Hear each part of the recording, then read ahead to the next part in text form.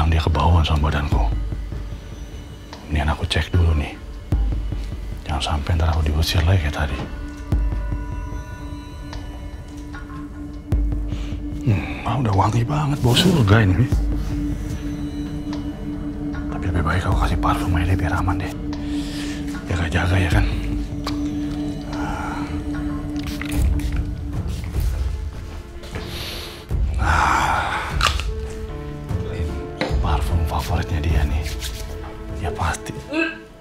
Dia, pasti. Kenapa? Kamu ngapain sih di sini, ha?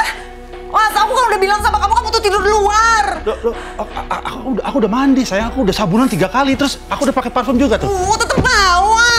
Masa sih aku belum deket-deket kok udah bilang gitu? Loh, eh, keluar, gak keluar. loh, aku udah pak, sayang, aku udah, aku, aku sabunan tiga kali pakai sabun tawas, sabun keramas, pakai urang arit. Ya udah, ya udah terserah ya, pokoknya terserah ya. Nih, kalau kamu nggak mau keluar, aku yang keluar. Aku yang tidur di luar. Eh, jangan dong, eh sayang, kamu tega banget. Ya aku nggak bisa nyium bau badan kamu, aku mual. Terus aku suruh tidur di mana? Di kandang kasuari di luar. Ya udah, aku yang keluar nih. Jangan ya, udah, jangan, jangan, jangan, jangan, jangan, Aku yang keluar, oke. Aduh. Cepetan. Iya, iya, kamu tega banget sama suami kamu. Aduh. Tuh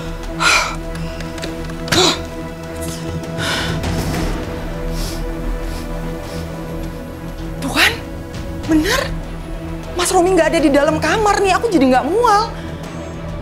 Tuh kan bener, ini pasti bauan babynya deh. Nggak mau nyium-nyium bau Mas Romi. Segitunya protesnya. Aku dimuntahin karedok sama dia aja aku nggak ribut. Ini protesnya kayak kayak seolah aku luluran pakai sampah atau gimana? Padahal aku udah mandi pakai sabun tawas, aku udah keramas pakai sampo orang hari, aku pakai bedak, deodoran, parfum, kurang apa lagi sih? Lebay banget. Mentang-mentang hamil. Alah. Ah, enggak lah.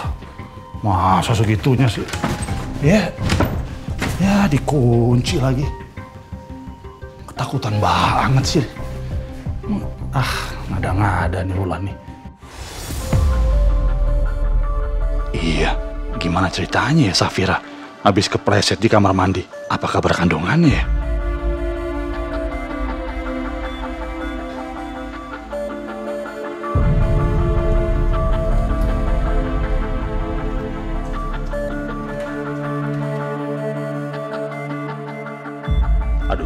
Tadi kenapa nggak sekali nanya sama Mbak Gina sih? Kalau sampai bener keguguran, gimana sama kandungannya Wulan ya? Bisa-bisa kok kena karma nih. Tapi kalau sampai Safira keguguran, nggak mungkin juga Mbak Gina sama Sisi di rumah. Mereka pasti nemenin Safira ke rumah sakit. Berarti, berarti Safira lagi sendirian di kamar.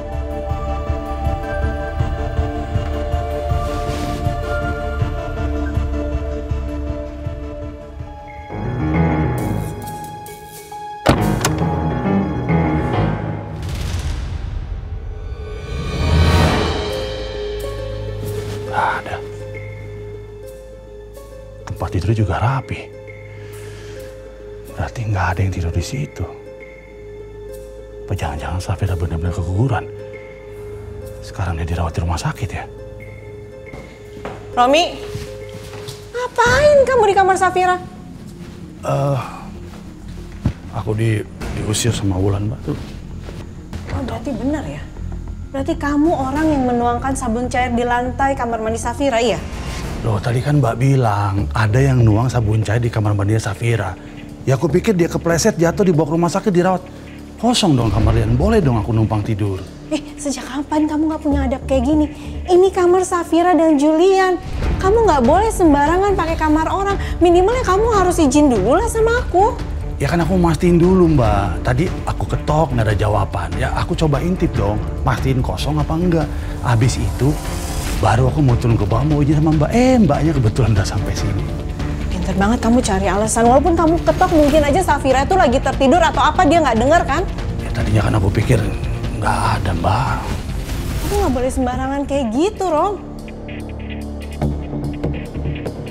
Sekali lagi Mbak tahu kamu masuk kamar Julian dan Safira, Mbak nggak akan segan-segan untuk usir kamu dari rumah ini. Aduh mbak jangan gitulah. Kamu tega banget sama adik kandung kamu sendiri. Oh iya, harus tega kalau sama kamu. Mbak sekarang nggak punya bukti apa-apa, Rom. Tapi sampai Mbak punya bukti kamu yang nuang sabun ke lantai kamar mandi Safira, nggak cuma diusir dari rumah ini, tapi Mbak akan masukin kamu ke penjara.